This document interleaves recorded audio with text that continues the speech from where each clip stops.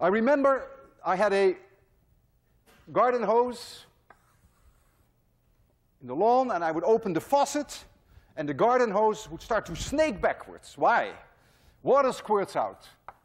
The garden hose pushes onto the water in this direction, the water pushes back onto the garden hose, and it snakes back. Action equals minus reaction. You take a balloon.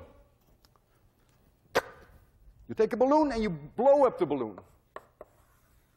And you let the air out. The balloon pushes onto the air. The air must push onto the balloon. And therefore, when you let it go, the balloon will go in this direction, which is the basic idea behind a rocket.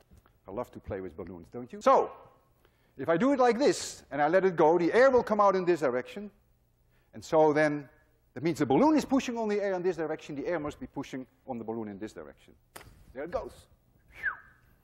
Didn't make it to the moon, but you saw the, the idea of a rocket. Action equals minus reaction. If you fire a gun, the gun exerts a force on the bullet. The bullet exerts an equal force on the gun, which is called the recoil. You feel that in your hands, in your shoulder. I have here a marvelous device, which is a beautiful example of action equals minus reaction. I show you from above what it looks like. You'll see more details later. This rotates about this axis rather freely. The axis is vertical.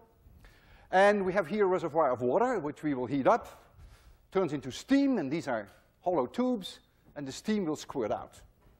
And so when the steam squirts out in this direction, the tube exerts a force on the steam in this direction, so the steam exerts an equal force the opposite direction, and so the thing will start to rotate like this. And I would like to demonstrate that.